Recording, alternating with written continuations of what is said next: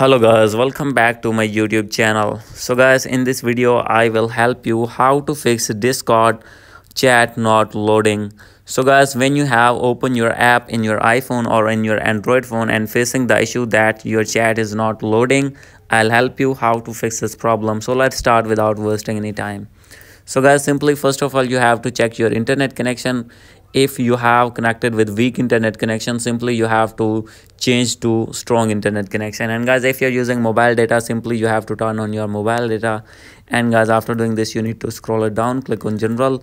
And guys maybe there is network problem simply you have to reset your network settings. And after doing this you have to go back check your vpn connection. If you have connected any kind of vpn you need to disconnect that vpn and after doing this you have to go back. And guys you need to check date and time. Make sure that date and time is set on automatically. And guys after doing this you have to go back.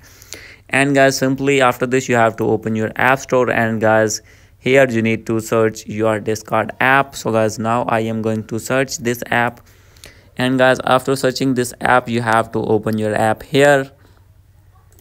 And guys you need to check for update. If your app is not updated simply you have to update your app. And after doing this you have to go back so guys you need to check that your problem has been fixed or not. So guys if still not fixed your problem you have to open your settings again. Click on general click on iphone storage.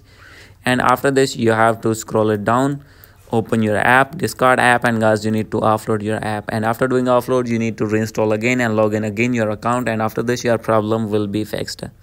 So guys this is the video. Hope you like this video.